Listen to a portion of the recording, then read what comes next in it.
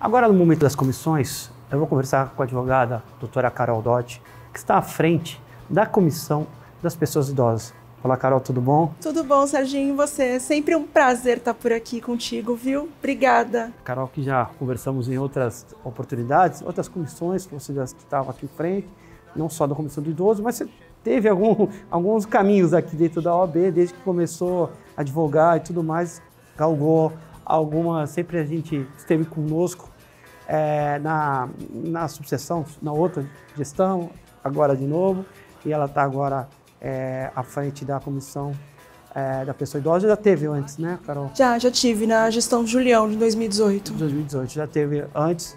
E ela vai dar uma, explicar para a gente a, a, a, importância né, de zelar pelos idosos. Na verdade, a, a vida ela é nós temos um começo, meio, nós temos um fim, mas somos todos, estamos no mesmo carro e é são momentos da vida distintos, né? E temos que zelar por esses momentos. E a Carol está aqui é falar da, da comissão, qual, o que a comissão tem feito, quais são os, os planos, enfim, como que como está. Acho que o primeiro grande projeto que a gente fez nesse ano de 2022 foi o lançamento da cartilha para as mulheres de 60 a mais, na Universidade de Santa Cecília, é, porque eu vi realmente a necessidade no mês de maio da mulher. Eu vi que a gente tinha, uh, talvez, esquecido de dar uma priorizada também para a mulher de 60 anos, porque hoje o cenário do país ele mudou. Antigamente a mulher chegava com 60 anos e ela continuava talvez em casa. Hoje com os filhos crescidos ou com os netos crescidos, elas voltam para o mercado de trabalho. Então eu senti essa necessidade de também poder orientar a mulher com mais de 60, quais são os direitos dela quando ela volta para o mercado de trabalho, ou aquelas que já estão no mercado de trabalho.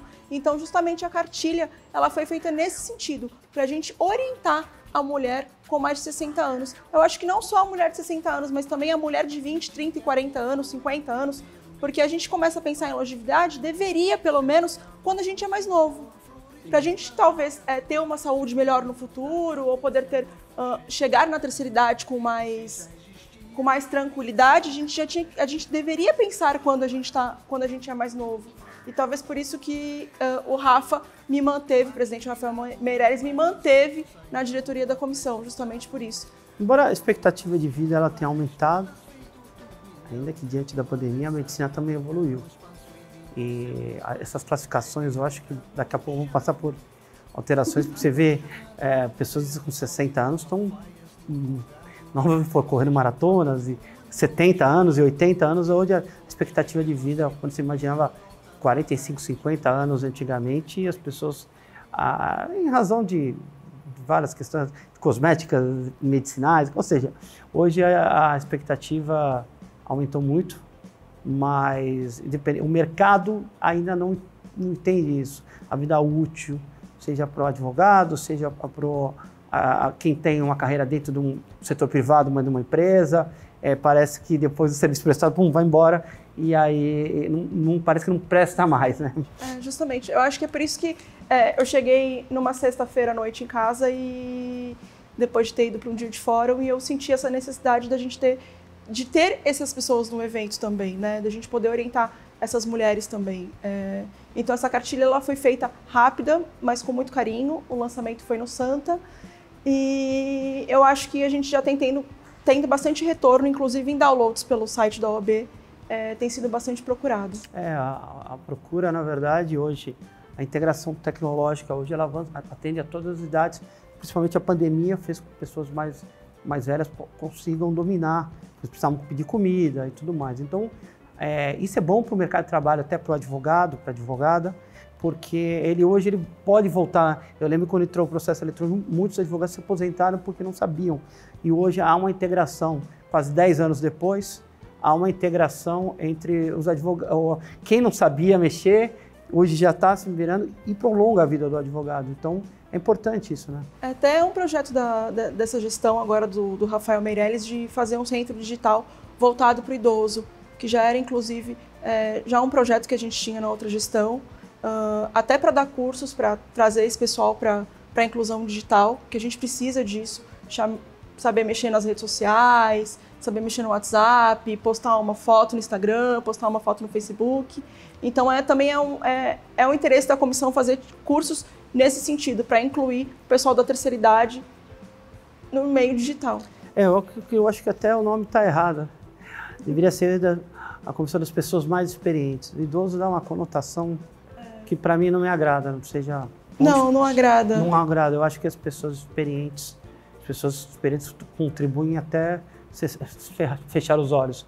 Então, é, é, nós somos aí uma vivemos, mas parece que a sociedade coloca que quem é produtivo, quem não é produtivo, que presta, quem não presta. É uma coisa que tem que mudar também. Se está mudando tanta coisa, o discurso está é tão evolutivo também porque é, não entendeu? É, é, não, não, por que separar?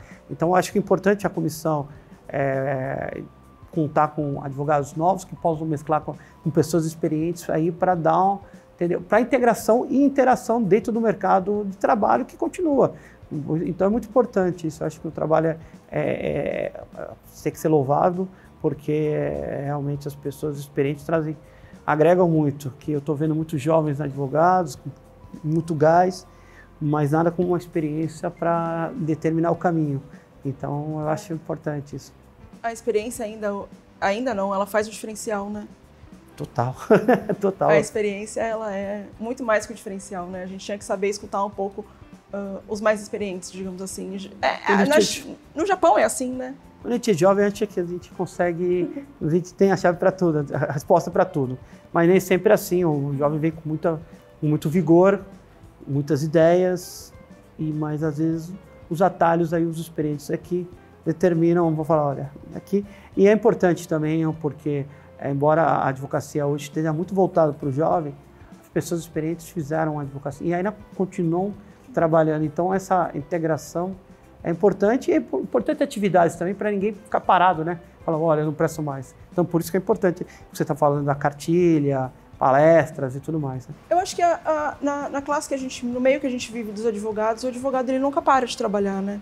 Então, é, talvez seja uma dádiva que a gente tem aqui os advogados. Os médicos também dificilmente param de advogar, logicamente, talvez só os cirurgiões que não, porque são instrumentistas, né?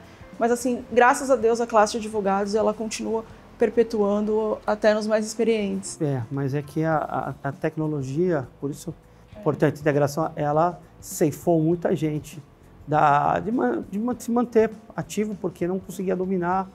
Então é importante essa trazer as pessoas a mostrar, ensinar para que eles continuem a sua vida profissional mais tempo, se estendam mais tempo, né? Mas eu acho que a OAB ela acabou é, se antecipando um pouco quando colocou o centro digital, né, o de apoio digital, Sim. né? Mas precisa ajudar... de mais divulgação porque ah, precisa, tem gente que não se acha, obviamente. tem gente que não obviamente. se acha. É, meu pai, por exemplo, faz petição, ele escreve e dá para alguém porque é, ele falou, ah, fazer isso aqui ele não parou de advogar, mas porque tem uma equipe lá que possa trabalhar. Mas tem gente que acaba não, sim, não, sim, não, não se sentindo à vontade. Então, é, ainda né, é, é um período de transição. Embora eu, venha, eu tinha visto muitos advogados, vieram desde que o, o Rodrigo, o, o, Julião colocou a, aquele, a, a, sala disponível para ensinamento, mas ainda, ah, é, não, ainda é por isso que essas tá ações, né? é, e por isso que essas ações da OAB são importantes para chamar, é, porque já dominam o Instagram. Então chamar, chamamento nas redes sociais é importante. E, e importante também é o trabalho que você faz aqui à frente da Comissão das Pessoas Idosas ou Pessoas Experientes. Eu quero te agradecer, Carol, e também é, depois deixar que você faça um convite aí às pessoas para participar da comissão, né? É, o meu convite é, é uma súplica, porque assim a gente não, por mais os nossos esforços da comissão da gente ter sempre ter membros, é, o pessoal ainda é uma comissão que ainda, infelizmente, talvez não tenha a quantidade de membros que eu desejaria, é, tanto de pessoas mais experientes como de pessoas idosas. Então, para a gente ter um, um, futuro uh, mais longevo, a gente precisaria também de ter mais jovens. E os mais experientes também teriam que estar com mais força na nossa comissão, mas porque a gente precisa dos conselhos deles. Sim, sim. Então, é, é, uma súplica que eu faço. A gente tem Instagram, é, CDPI OAB Santos. É, a gente está lá, a gente posta sempre as novidades que tem na comissão. E eu peço por gentileza, se vocês tiverem alguém interessado, mandar um e-mail para as comissões daqui da de Santos, que obviamente a gente vai receber sempre de braços abertos.